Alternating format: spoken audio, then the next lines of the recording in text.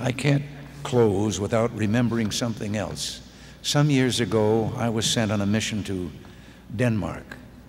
And while there, I heard stories of the war, and I heard how the order had gone out for the Danish people under the Nazi occupation to identify the Jews among them. And the next day, every Dane appeared on the street wearing a Star of David.